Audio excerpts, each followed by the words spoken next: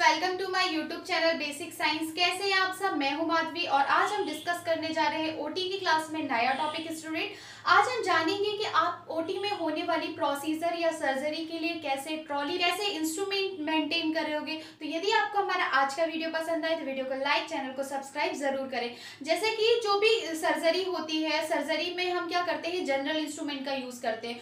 तो मैंने सारे सारे जितने भी जनरल इंस्ट्रूमेंट है, वो मैंने करवा दिए हैं। तो पहले आप सारे जनरल इंस्ट्रूमेंट के बारे में पढ़ लीजिएगा कि आखिर किस जनरल इंस्ट्रूमेंट को कैसे कार में लाया जाता है। ठीक है स्टूडेंट तो आज हम देखने जा रहे हैं जनरल सर्जरी सेट अब ये जनरल सर्जरी साइट क्या कहलाता है?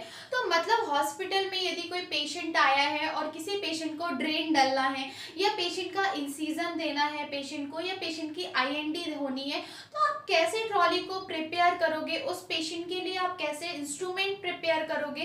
कैसे आप उस केस की तैयारी करोगे? आज मैं वही आपको बताने वाली हूँ। तो आज हम देखने जा रहे हैं जनरल सर्जरी सेट का इंसीजन एंड ड्रेन सेट मतलब यदि किसी पेशेंट को ड्रेन डलनी है या किसी पेशेंट को इंसीजन देना है या किसी भी पेशेंट की आईएनडी होनी है तो आप उसके लिए कैसे आप ट्रॉली को मेंटेन करोगे या ट्रॉली को प्रिपेयर करोगे या उस सर्जरी के लिए कैसे आप इंस्ट्रूमेंट तैयार करोगे? ठीक है स्टूडेंट तो चलिए स्टार्ट करते हैं। होता क्या है कि जब ओटी में सबसे पहले पेशेंट आता है तो हम पेशेंट का सबसे पहले कंसर्न फॉर्म क्या करते हैं? भरवाते हैं। कोई भी ओटी में पेशेंट आ रहा है, सभी पेशेंट का सबसे पहले कंसर्न फॉर्म भरवाया जाता है। कंसर्न फॉर्म भरवाने के बाद हम एज एक ओटी टेक्नीशियन है तो ओटी का कार्यभार हमारे टेक्नीशियन के ऊपर ही होता है। तो हमको मालूम है कि किस पेशेंट को ड्रेन डलना है या इंसीजन देना है। तो उस पेशेंट के अकॉर्डिंग हम प्रिपरेशन स्टार्ट करते हैं, ठीक है स्टूडेंट तो हम कर रहे हैं ड्रेन की प्रिपरेशन या किसी पेशेंट को इंसीजन देना है या आई की प्रिपरेशन तो आप कैसे करोगे? आपको करना क्या है कि आपको मालूम होना चाहिए कि यदि किसी पेशेंट को इंसीजन देना है या ड्रेन डालना है तो उस प्रोसीजर में किस किस इंस्ट्रूमेंट का यूज़ किया जाएगा, वही मैं आपको बताऊँगी कि आप कैसे ट्रॉली प्रिपेयर करोगे। ट्रॉली प्रिपेयर करने से पहले स्टूडेंट हमको जो इंस्ट्रूमेंट होते हैं, उनको ऑटोक्लेव की करना होता है। ऑटोक्लेव का मैं वीडियो डाल दूँगी।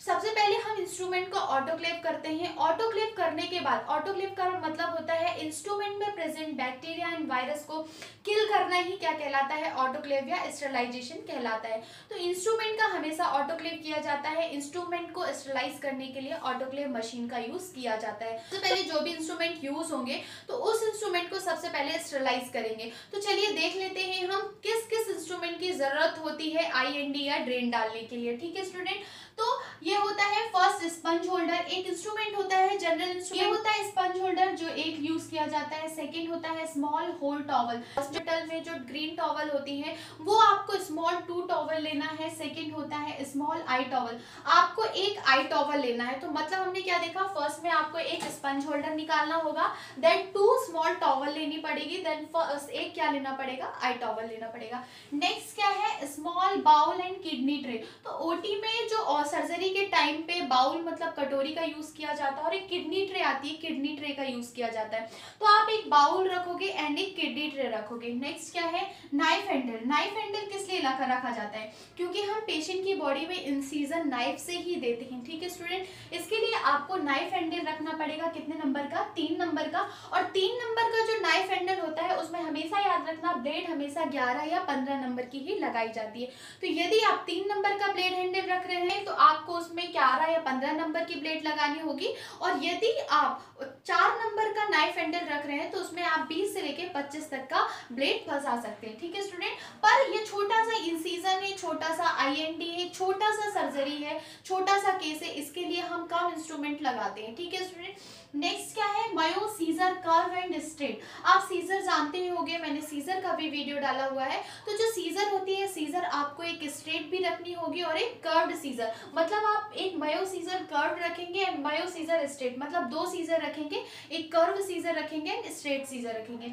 नेक्स्ट क्या आता है? Tooth and non tooth dissecting forcep अब ये जो टूथ फॉरसेप्स है एंड जो होता है नॉन टूथ डिसेक्टिंग फॉरसेप आपको दोनों फॉरसेप्स एक एक रखना है और इन फॉरसेप्स का यूज़ सूचरिंग में किया जाता है। नेक्स्ट क्या आता है? Allis tissue forceps Allis tissue forceps भी एक जनरल इंस्ट्रूमेंट है जिसका यूज़ इसी ड्रेन किया आईएनडी के लिए किया जाता है। ये इंस्ट्रूमेंट आप दो रखोगे। नेक्स्ट आता है साइनस फॉरसेप्स साइनस फॉरसेप आप एक रखोगे। फिर नेक्स्ट आता है कर्व आर्टरी फॉरसेप्स ये जो कर्व आर्टरी फॉर्सेप्स है, ये आप दो रखोगे। नेक्स्ट आता है आपका सीरेंज एंड आपका फिर नेक्स्ट आता है जाइलोकेन टू परसेंट ठीक है? तो ये जितना भी सामान है, आपको निकालना है पहले और इस सामान को ड्रम में लगा के क्या करना है? ऑटोक्लेविंग या इसका स्टरलाइजेशन करना है। स्टरलाइजेशन करने के बाद आप ट्रे को कैसे या ट्रॉली को कैसे लगाओगे? आई की ट्रे कैसे प्रिपेयर करोगे? तो इसके लिए सबसे पहले स्टूडेंट आप एज अ टेक्नीशियन हो तो सबसे पहले आपको स्क्रब होना पड़ेगा। स्क्रब होने के बाद आप स्टराइज स्टाइल गाउन पहनोगे स्टाइल गाउन पहनने के बाद आपको ग्लव्स पहनना होता है। ग्लव्स पहनने के बाद आप ट्रॉली प्रिपेयर करते हो। तो जो ट्रॉली होती है, हम ट्रॉली को उसका सबसे पहले डिसइनफेक्ट कर लेते हैं।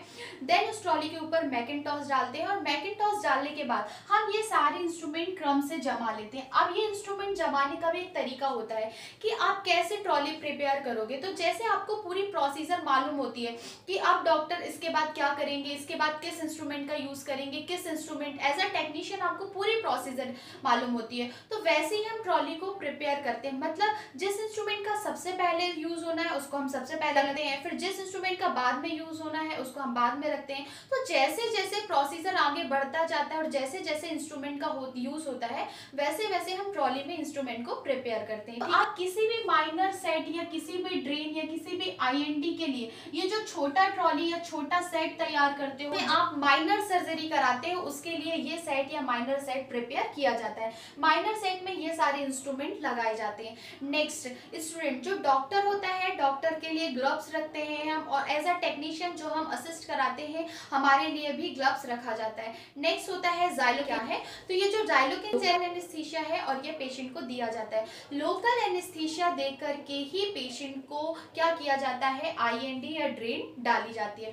नेक्स्ट पेशेंट की बॉडी को पेंट एंड ड्रेप करने के लिए बीटाडीन या या सेवलॉन का यूज़ किया जाता है, ठीक है स्टूडेंट आज हमने देखा कि आप कि ओटी में यदि कोई पेशेंट आता है जिसका आईएनडी होना है या पेशेंट को ड्रेन डलनी है तो आप उसके लिए ट्रॉली कैसे प्रिपेयर करोगे? माइनर सेट कैसे प्रिपेयर करोगे? तो आपको इन सारे इंस्ट्रूमेंट को ऑटोक्लेव करना होता है। ऑटोक्लेव करने के बाद आप जब आपका इंस्ट्रूमेंट ऑटोक्लेव हो जाता है, आप स्क्रब होते हैं स्क्रब होने के बाद स्टराइल गाउन पहनते हो स्टराइल ग्लव्स पहनते हो। उसके बाद आप जो एज अ टेक्नीशियन जो टेक्नीशियन होता है, वो ट्रॉली लगाता है। ट्रॉली लगाने के बाद उस ट्रॉली में डॉक्टर के लिए ग्लव्स रखे जाते हैं, हम जो हम टेक्नीशियन होते हैं, हम टेक्नीशियंस के लिए भी ग्लव्स लिए जाते हैं एंड बीटाडीन सेवलॉन भी लिया जाता है एंड जाइलोक एंड जिस्पोविन का भी यूज़ किया जाता है। ऐसे करके ही हम माइनर सेट का ट्रॉली प्रिपेयर कर